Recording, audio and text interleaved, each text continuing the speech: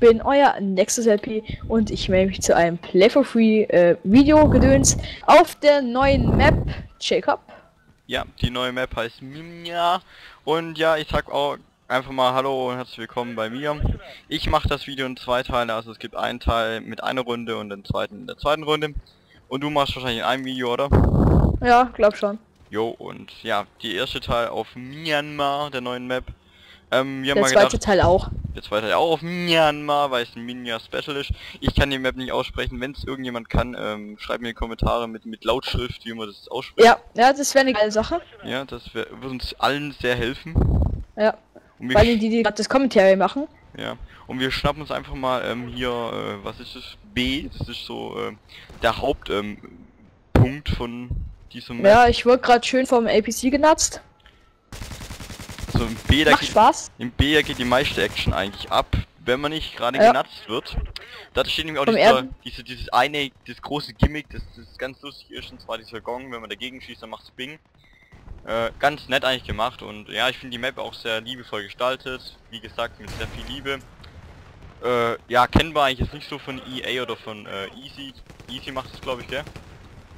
Ja, easy. Ja, ähm, auf jeden Fall wirklich gute Arbeit, muss man sagen. Haben, bei der Karte haben sie sich wirklich mal Mühe gegeben, ne? Man sieht auch manchmal Ja. Vögel rumfliegen Muss ich sagen.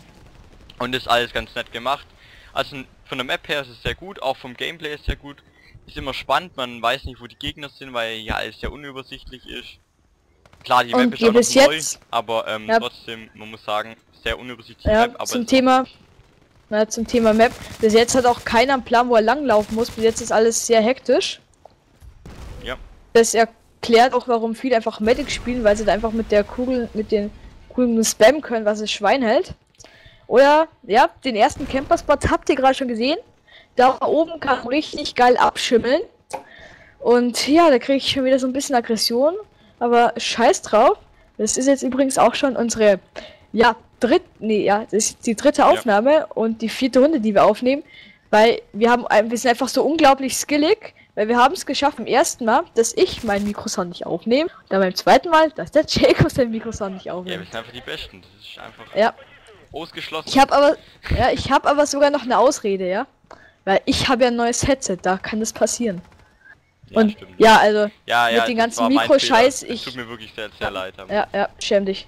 So, ist nochmal zur Boom. Karte, also es, auf der Karte Ja. gibt's ähm, so sagen so Sandbunker, die man von ähm, Oman schon kennt.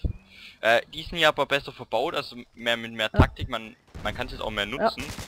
Also, Ja, es gibt auch hier einen schönen chinesischen Tempel, der etwas, was, wie heißt, ähm, äh, hier, Dragon Valley, der gibt genau, Dragon Valley. Aber hier ist der Tempel auch begehbar und wirklich taktisch verdammt cool. Ja. Und jetzt zeige ich euch mal ganz kurz den Gong. Warte, nicht unbedingt mit der RG. Oder vielleicht mit der leisen Waffe. Ja, der Gong. der So Gong. ein kleines Easter Egg, das nicht unbedingt ein Easter Egg ist. Letzte Runde hatte ich einen Medic, der hatte die ganze Zeit drauf geschossen. Ja, also das, das, Ja. das ist so, ich glaube, das, das machen die ganz gerne, wenn man einmal Spaß dran gefunden hat, dann macht man es halt so mal so seine, Ja. seine 10 Minuten Ja, wir- lang. Das darf ich ja auch keinem erzählen, aber wir sind in einer Private Lobby gejoint. Also, nee, wir haben uns einen leeren Server gesucht und so beide als Mentoren haben wir einfach nur auf den Gong eingeschossen. Das, Das macht einfach irgendwie, Ja. wenn man Langeweile hat, dann macht man halt so einen Scheiß und das ist, ich finde es auch gut von Entwicklern, dass man sowas einbaut, weil das einfach auch ein bisschen ähm, den Reiz von dem Spiel mehr ausmacht. ja. Ein bisschen Witz, ein bisschen Lockerheit drin ist und das kommt halt durch diesen, ähm, äh, durch Gong. diesen Gong halt da rein irgendwie, ne? Haben es irgendwie gut gemacht Ja. und gut geschafft, also wirklich gute Karte, ähm, sehr schön animiert, auch mit dem Dschungel hier, gibt ja auch diese Dschungel-Outfits mittlerweile und ähm, auch Und ein Dschungel äh, Cameron. ja, ein Dschungel Camo Kit, äh, Skin oder keine Ahnung. Für die Uzi, ja, ist sehr überraschend. Uzi, hallo. Ähm, wer hat die Uzi? Ich habe es mir auch besorgt, weil ich die Uzi habe und weil ich so viele Founds habe und so viel Zeit und so viel Geld. Ich mag es hier nicht angeben, aber ich habe es mir geholt und ich habe es jetzt noch nicht damit gespielt. Aber ich glaube, das wollen die nur, dass man mehr sich die Uzi kauft, weil die ist wirklich sehr, sehr underused. Ähm, ich sehe eigentlich keinen mit der Uzi und Aber auch mit Grund, um nicht zu sein. ja, also wirklich begründet ist auf jeden Fall, weil, ähm, hallo, die Uzi, die ist sowas von mies, also, Ja. da weiß man gar nicht, wo man anfangen geil. soll, also, das ist schon Wahnsinn. Aber es Ja. war zur Karte, hier sind wir wieder bei ähm, B, der, wie gesagt, diesen Tempel, das, der Mittelpunkt der ganzen Map eigentlich, also, wo sich die meiste Action so abspielt normalerweise. Hier ist der Gong. Sehr schön. Ähm, ja. Also ich finde auch wirklich, Ja. ähm, hier kann man überall rein, auch in den, diesen Tempel. Also man kann nicht nur diese Türen rein, die da gemacht sind, sondern auch manchmal solche, solche Bruchstellen wie hier. Kann man auch einfach reinschlüpfen und dann merken die Gegner nicht, dass da schon wieder Gegner drin sind und das macht auch den Reiz dann wieder aus. Weil man einfach nie weiß, wo jetzt der Gegner sich genau befindet. Äh, man hat auch wirklich sehr, sehr viele Laufwege. Aber es gibt natürlich auch Fahrzeuge, das sind wir glaube ich an Fahrzeugen. Es gibt für jeden Mannschaft ein APC und zwei ähm, Humvees oder diese DAVs, wie es auch immer heißt. Ähm, und ja, das sind solche Transportfahrzeuge.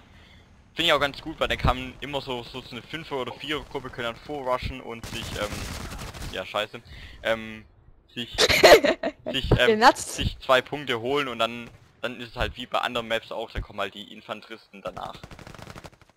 Äh, Helis gibt's leider nicht. Äh, was heißt leider, ich finde es eigentlich relativ gut. Ah, so ein Transport-Heli Heli wäre doch mal geil gewesen, oder? Ja, der wäre schon ganz cool, aber ich meine, wie willst du den landen? Hier sind überall Bäume. ganz klein, weißt du? Die kennt ihr, die, die, im Vietnamkrieg benutzt haben. Sowas meine ich. Also, Ein Little Bird ohne MGs, ja, oder? sowas so, so. Gibt auch ein Battlefield 3, also die werden es kennen, was ich meine. Ähm, das ist sowas Kleines und sowas wäre vielleicht ganz nett gewesen, aber man kann natürlich nicht immer meckern, ey. Ja, die Map ist gut gemacht, jetzt sind wir happy drüber. Ja. So, und Jacob, jetzt noch über Waffenkombination, mit denen sich da gut spielen lässt. Fang du mal an. Also ich muss mal sagen, ganz ehrlich ist es, also Medic lohnt sich auf der Map, lohnt sich auch der Ingenieur, der Assault weiß ich nicht so ganz, was der da für eine Rolle spielt. Ähm, Sniper auf jeden Fall nicht, den würde ich ja nicht empfehlen auf der Map.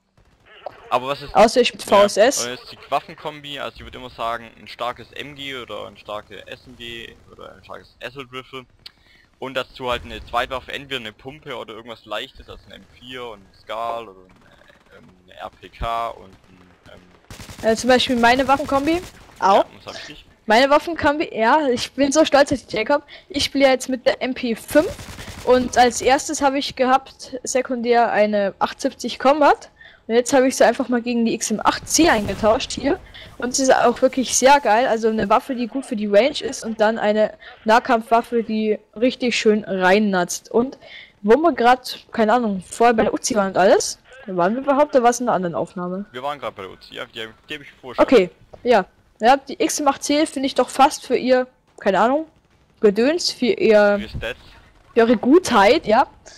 Ja, dafür, dass sich mit der so geil spielen lässt, doch sehr unterbenutzt. Das stimmt allerdings und die kommen auch bei mir in Underused Weapon rein. Finde ich eigentlich ein bisschen schade um die Waffe, weil die Waffe ist wirklich sehr, sehr gut.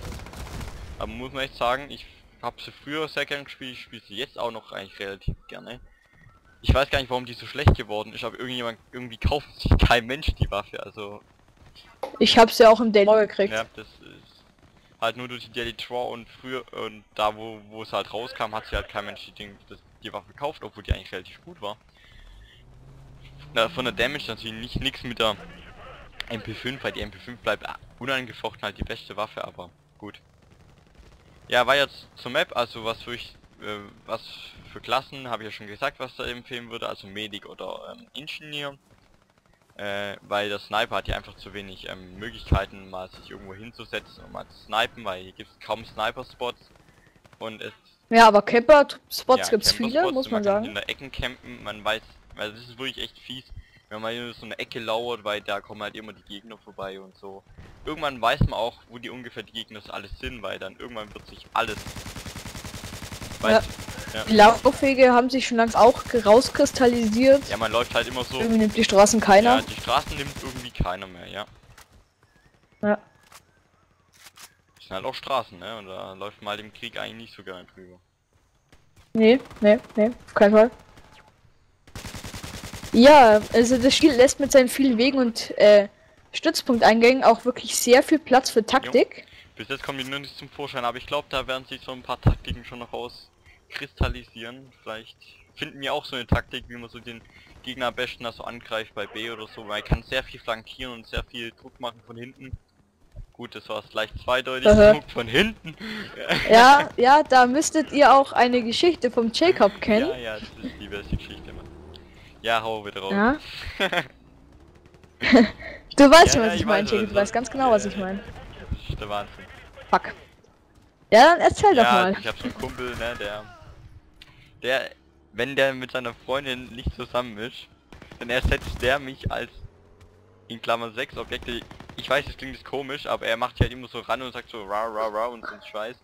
Ich weiß, es klingt jetzt voll pervers, aber das macht einfach aus Spaß. Das hat wirklich nichts mit zu schwul oder so zu tun. Wenn seine Freundin mir da ist, ja, dann knallt er die halt auch eben wieder, okay. Sag mal einfach so, wie es ist. Oh, das Gameplay ist fast aus. Wechseln wir ja abrupt das Thema. Äh, ja, ja, äh, auch gar nicht überraschend ablenken nee, nee, oder so. nicht. Nein, Also, wir, nee, das war eigentlich schon der erste Teil von meinem ähm, Ja, bei mir kommt's am Stück. Ja, Special. So Ja, ein bisschen ja, auslaufen gehen, wir sind jetzt noch... Ach, Jacob, komm. Mach du auch Nein, am Stück. mach- Macht doch keinen Unterschied. Jetzt haben, Videos. wir haben jetzt aber keine Ladens... Jetzt haben wir keinen Ladenscreen. ist mir egal. Mach trotzdem zwei Parts und Ja, ähm, gut. ja, wir sehen hier die russische Flagge vor diesem Tempel in Myanmar, das irgendwo in Vietnam liegt. Ähm, ja, und würde mal sagen, Da ist die Runde die aus. Runde ist aus und wir sehen uns... Geiles Ja, Jacob. unglaublich. Wir sehen uns im nächsten Part. Ciao.